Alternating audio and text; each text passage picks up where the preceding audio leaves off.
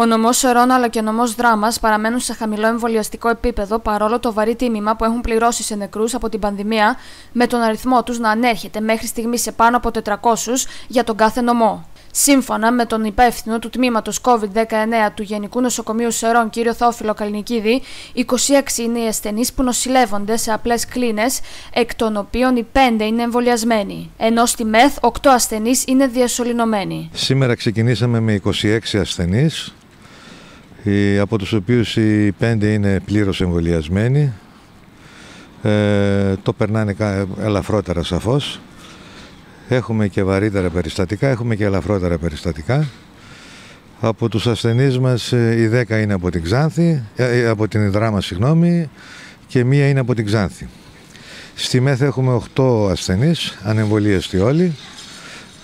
Εξορισμού είναι και βαρύτερα, αυτοί που νοσούν και βαρύτερα. Η μεγάλη πλειοψηφία, όπως έχω πει, είναι οι ανεμβολίαστοι, οι λίγοι εμβολιασμένοι, ε, περισσότερο τους κρατάμε για άλλα προβλήματα που έχουν παρά για, το, για αυτό καθ' αυτό το, την νόσο του COVID, της COVID ε, εκτός από κανένα που έχουν λίγο σοβαρότερο πρόβλημα. Οι ηλικίες των ασθενών που νοσηλεύουμε ξεκινάνε από 35 η οποία είναι μια κοπέλα από την Ξάνθη και φτάνουμε μέχρι τα 96.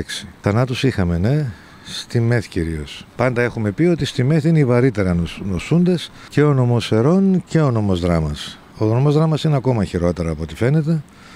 Ήδη στη δράμα από ό,τι διαβάζουμε έχουν φτάσει τον αριθμό ρεκόρ σε όλη την Ελλάδα νομίζω 400 ε, έχουν θρυνήσει και ακολουθούμε και εμείς. Ο μόνος τρόπος προφύλαξης είναι ο εμβολιασμός, λέει ο κύριος Καλλινικίδης. Έχουμε ξαναπεί ότι ο μόνος τρόπος να προφυλαχτούμε είναι ο εμβολιασμός. Φάρμακα δεν υπάρχουν, τα φάρμακα είναι βοηθητικά.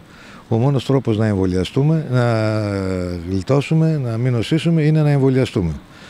Ε, παρά τις όποιες αντιδράσεις υπάρχουν από κάποιες μερίδες συνανθρώπων μας. Δυστυχώς είναι, έχουμε πει επίσης ότι και οι εμβολιασμένοι μπορεί να κολλήσουν, θα το περάσουν ελαφρότερα Όπως συμβαίνει και με τους νοσηλευόμενους μας. Η λύση της ανοσίας της αγέλης είναι πολύ επικίνδυνη σύμφωνα με τον υπεύθυνο του τμήματος COVID. Η άλλη λύση είναι η ανοσία της αγέλης.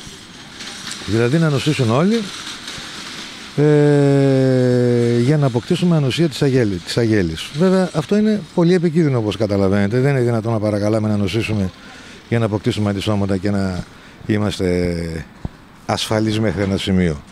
Διότι κάποιοι από τους αυτούς που θα κολλήσουν, όπως έχουμε πει, θα νοσήσουν σοβαρότερα, θα χρειαστεί να νοσηλευτούν, κάποιοι να διασωληνωθούν και κάποιοι σίγουρα να μην τα καταφέρουν. Με τα σχολεία ανοιχτά οδηγούμαστε προς την ανοσία της αγέλης.